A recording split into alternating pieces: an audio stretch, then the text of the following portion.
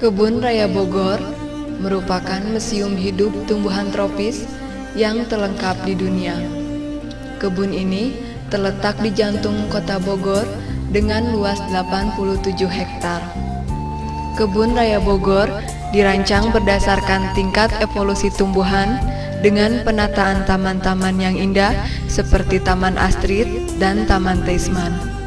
Tidak jauh dari Taman Teisman, terdapat koleksi talas-talasan di antaranya tumbuhan langka spektakuler yaitu bunga bangkai.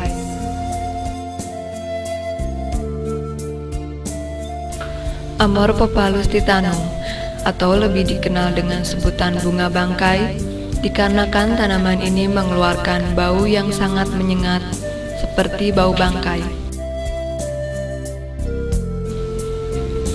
Jenis ini merupakan jenis tumbuhan yang dilindungi karena keberadaannya di alam sudah terancam. Di antara jenis bunga bangkai yang lainnya, Amor popalus titanum merupakan jenis yang terbesar.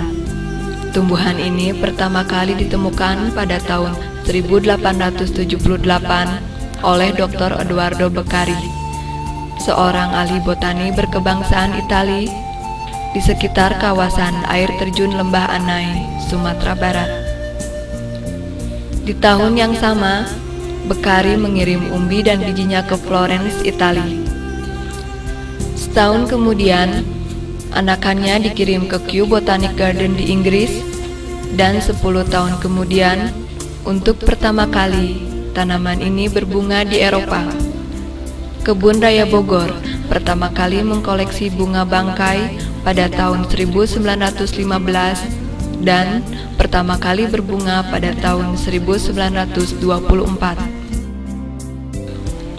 Amor Papalus titanum atau bunga bangkai termasuk ke dalam suku talas-talasan atau Araceae. Marga Amor popalus mempunyai 170 jenis. Jenis-jenis ini tersebar di Afrika tropis Madagaskar, melintasi tropikal Asia dan Asia Tenggara, dan ke arah timur sampai Australia. Khusus untuk Amor popalus titanum, hanya ditemukan di Sumatera dan tidak ditemukan di daerah lainnya di Indonesia maupun di dunia. Penyebaran jenis ini ditemukan hampir di seluruh provinsi di Sumatera seperti Lampung, Lahat di Sumatera Selatan, Kapahyang di Bengkulu, Muara Imat dan Tandai di Jambi, Bungus, Pasaman, Lintobuo di Sumatera Barat, Cagar Alam Sibolangit di Sumatera Utara, dan Taman Nasional Lesir di Aceh.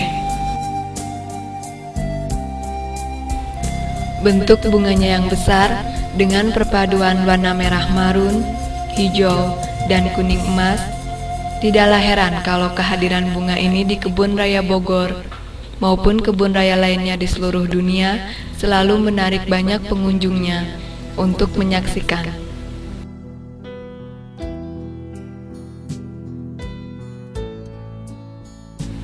Keunikan bunga ini terletak pada perbungaan dan siklus hidupnya.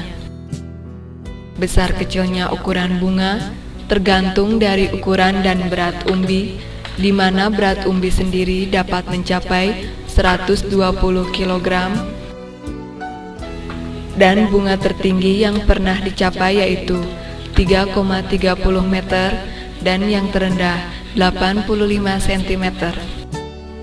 Siklus hidup Amor Papalus titanum terdiri dari dua tahapan, yaitu masa berdaun, dan masa berbunga. Di antara masa berdaun dan masa berbunga, selalu diselingi dengan masa istirahat, di mana pada saat itu sama sekali tidak kelihatan adanya bekas tumbuhan tersebut hidup. Masa daun ditandai dengan munculnya satu daun tiap satu kali masa tumbuh. Batang yang selama ini dikenal sebenarnya adalah tangkai daunnya. Setelah masa daun berakhir, akan diikuti oleh masa istirahat, di mana umbinya tidur untuk mempersiapkan masa tumbuh selanjutnya. Pada masa itu, tanaman akan menghilang dari permukaan tanah. Lama masa istirahat sangat bervariasi, biasanya 1 sampai 3 tahun. Setelah masa tersebut usai, akan diikuti oleh masa berbunga atau dapat juga kembali muncul daunnya. Satu hal yang sangat menarik adalah tanaman ini hanya memunculkan bunga tanpa daun atau daun tanpa bunga.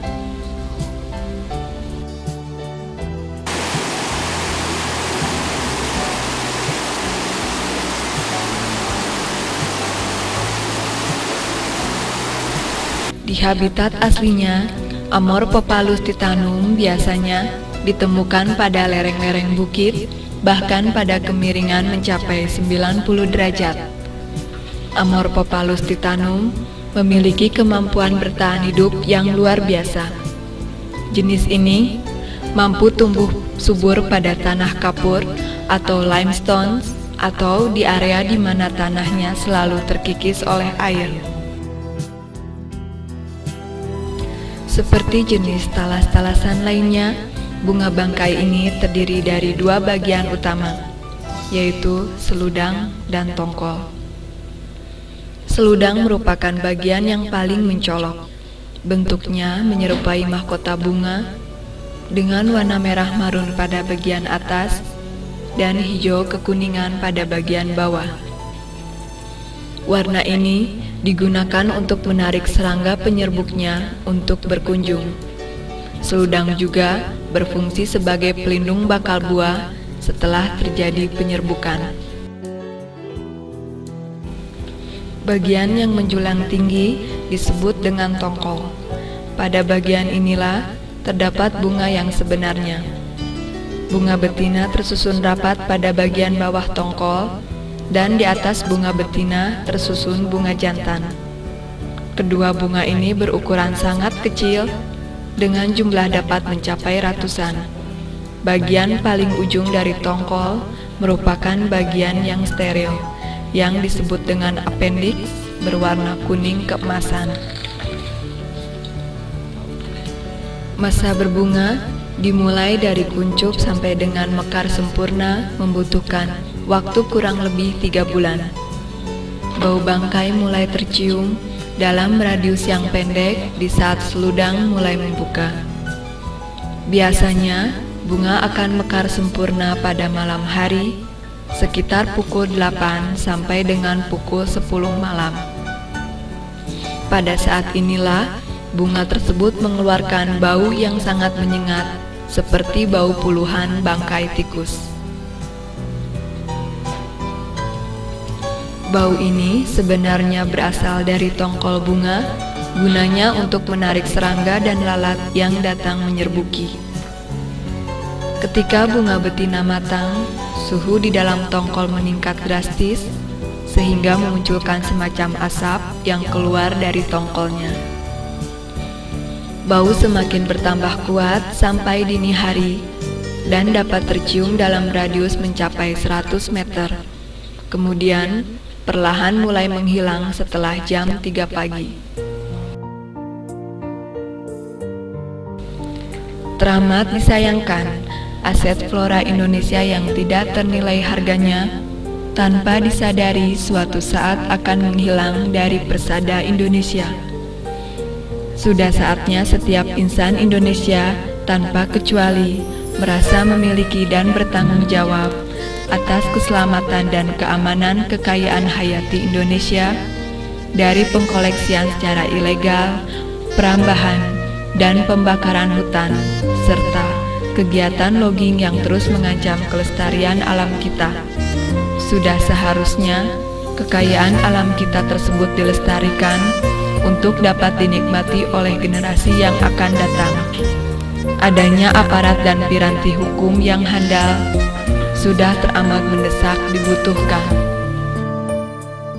Menyadari kelangkaan dan ancaman akan kepunahan bunga bangkai ini di habitat aslinya, Kebun Raya Bogor dan The Royal Botanic Garden Sydney, Australia melakukan suatu kerjasama penelitian dalam upaya menyelamatkan tumbuhan ini dari kepunahan.